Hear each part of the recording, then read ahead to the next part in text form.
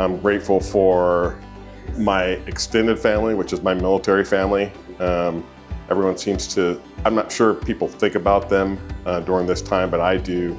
Uh, you know, when I was deployed and away from my family, um, you know, I thought about my family and I had people take care of me like, uh, you know, I try to do for, for other service members that aren't, can't get back home and things of that nature. So I'm thankful for my service members for helping to uh, protect us, serving our country. Thankful for my family, my personal family, um, for uh, supporting me uh, through all my endeavors that I do and for all the time and effort I do with my nonprofits and things of that nature. Uh, I love them to death. And uh, I'm just thankful that I am healthy and have enough mobile ability and mental ability to be able to uh, be able to support the, the community that's around me. So I always wanted to give back when I retired and that's what I'm doing. So I'm thankful for that. Obviously family, um, health, my furry friends, my dog and my cat. and um, I'm thankful for the beautiful season, for fall. This is my favorite season, so I'm thankful that I can share the warmth of fall season with everybody.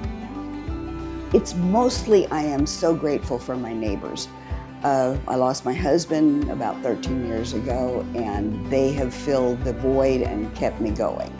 And so it's my neighbors and all the people that I've met here. The more people you know, the more support you have. I'm grateful as a docent, and I know that many of our members here uh, and those in leadership are grateful for other residents to donate some of their personal items here to the museum. I'm thankful uh, for the community and everybody, every volunteer in this museum that worked together to make this beautiful project happen. I am thankful for, uh, to the Orangevale History Museum for the friends that I've made, the education that I've got about Orangevale, and all the things that I didn't know that I sh probably should have known long ago. Oh my gosh, people came and brought their paint brushes and their buckets, and people donated paint and flooring. And the plumber came and brought us a new, new throne in the bathroom.